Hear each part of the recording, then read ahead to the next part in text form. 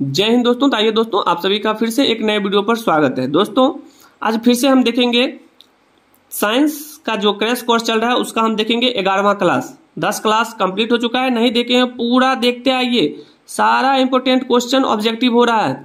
यहाँ पर आपको मिल रहा है साइंस में तीनों सब्जेक्ट का फिजिक्स केमिस्ट्री एंड बायोलॉजी का मिक्स क्वेश्चन जिस तरह से आपके बोर्ड एग्ज़ाम में पूछा जाता है। सारा इंपोर्टेंट क्वेश्चन है, एक भी क्वेश्चन मिस नहीं करना है, नहीं तो आप लोग मिस हो जाइएगा, ठीक है? चलिए। तो हम ये कहेंगे कि आप लोग एकदम कंटिन्यू मेहनत करते रहिए। जितना भी ऑब्जेक्टिव बता रहे हैं, सारा ऑब्जेक्टिव दिमाग में ठोक लीजिए।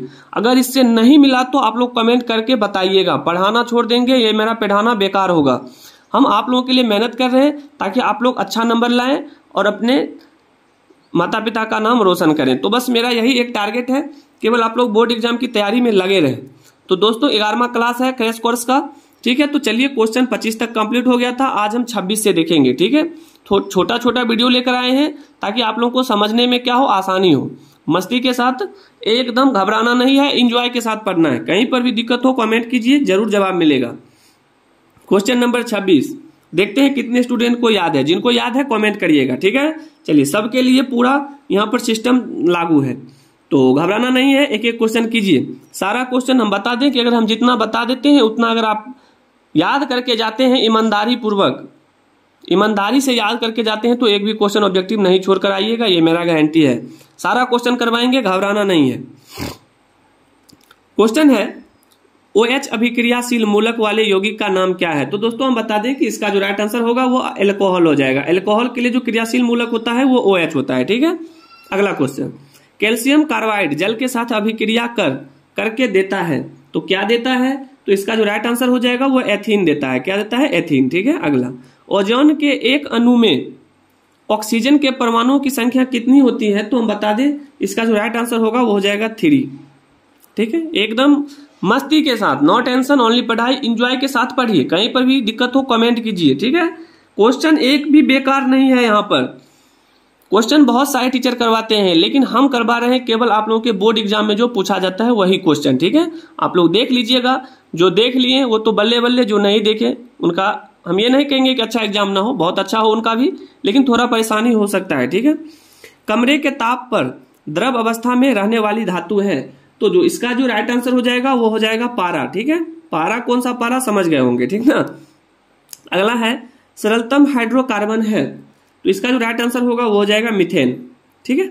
आगे निम्नांकित में कौन क्षारीय ऑक्साइड है? आप लोग जवाब दीजिएगा। इस तरह का क्वेश्चन भी आएगा कि निम्नांकित में कौन क्षारीय ऑक्साइड है? तो आप लोग को क्या आंसर मारना है पता है? Na2O क्या मारिएगा? Na2O ठीक है? आगे। बेकिंग पाउडर एक मिश्रण है। वेरी इंपॉर्टेंट क्वेश्चन है। यही सब क्वेश्चन तो आता है बोर्ड एग्ज़ाम में। इससे बाहर नहीं आएगा। बेकिंग पाउडर एक मिश्रण है। तो बेकिंग पाउडर एक मिश्रण है किसका? तो आपको याद रखना है NaHCO3 एवं एसिटिक अम्ल का। ठीक है? Option number B clear? चलिए, आगे बढ़ जाते हैं। क्वेश्चन समझिएगा और जवाब दीजिएगा। नहीं याद है तो गौर से सुनिएगा, ठीक है? चलिए जी, आगे। हाँ हो गया। अब देखिए। न्यूक्लियस शब्द किस, किनके द्वारा दी गई? न्यूक्लियस शब्द किनके द्वारा दी गई? तो आप लोगों को यह चीज़ याद होना चाहिए। किनके द्वारा दी गई? तो आपको याद रखना है रॉबर्ट ब्राउन के द्वारा, ठीक है? रॉबर्ट ब्राउन के द्वारा, ठीक है? आगे। पौधे में पौधे में भोजन किस रूप में जमा होता है? तो आपको याद रखना है स्टार्च के रूप में जमा होता है। सारा सब्जेक्ट का है फिजिक्स भी है केमिस्ट्री भी है बायोलॉजी भी है, आप कहाँ जाइएगा? पढ़ लीजिए एक ही में पूरा बार बार अलग अलग पढ़ने से तो फ़ायदा होगा। ठीक है?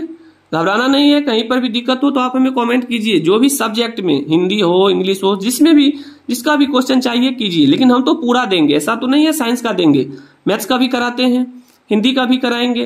केवल आप लोग को सब्र करना है पेशेंस रखिए, ठीक है? प्रसिद्ध पुस्तक, द माइक्रोग्राफिया किनके द्वारा लिखी गई थी? तो इसका जो राइट आंसर होगा, वो हो जाएगा रॉबर्ट हुक के द्वारा, ठीक है?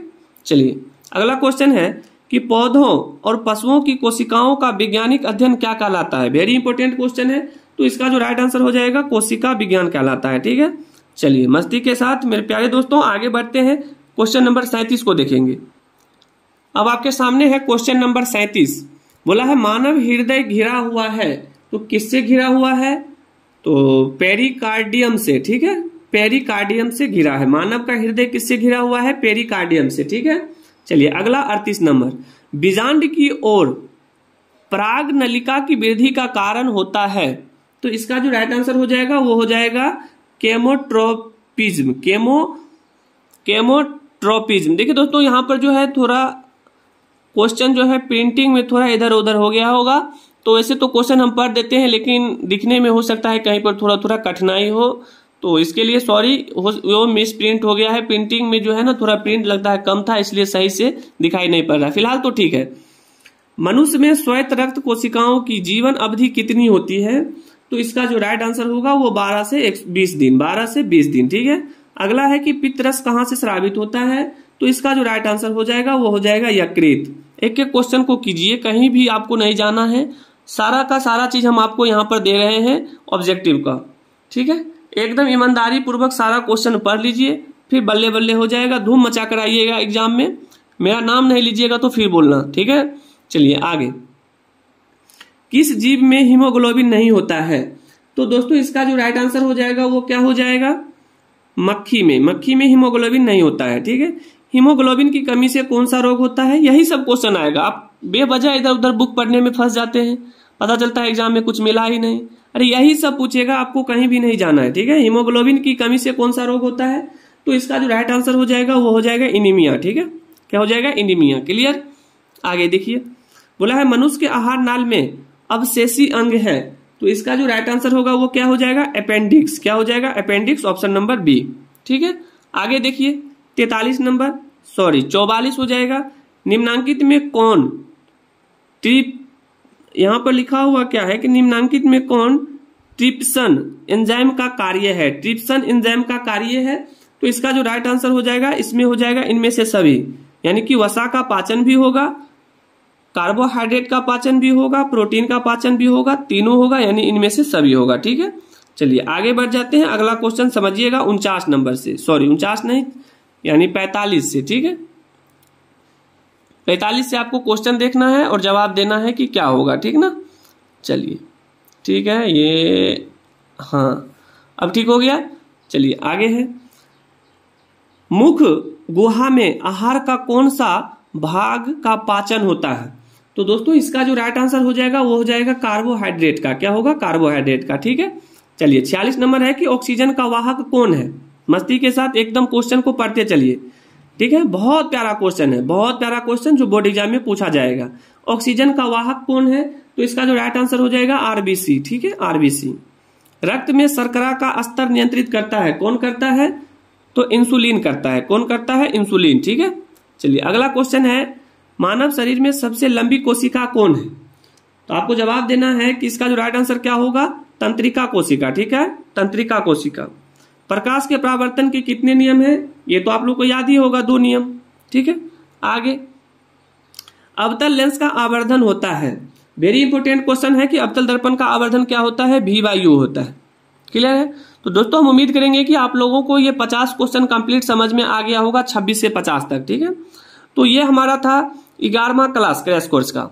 ठीक है? एक एक क्वेश्चन उम्मीद करेंगे कि आप लोग सही ढंग से समझ गए होंगे। कहीं पर भी दिक्कत हो तो आप हमें कमेंट कर सकते हैं।